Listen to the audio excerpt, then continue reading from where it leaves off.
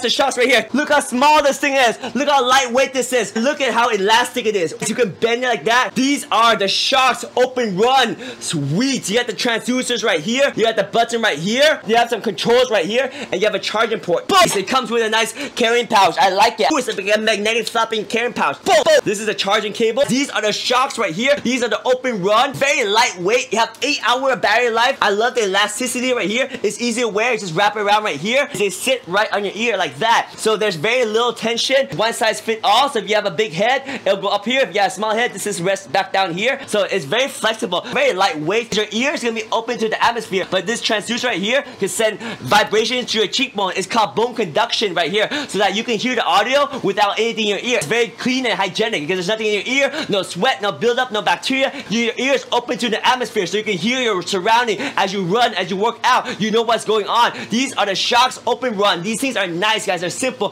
I like them. Lightweight, bone conduction, 8-hour battery life, waterproof, bone conduction headset, super flexible right here. These are the Shokz. These things are ridiculously lightweight and they're awesome, incredible technology right here. These are the Shokz. Open Run right here. Oh yeah.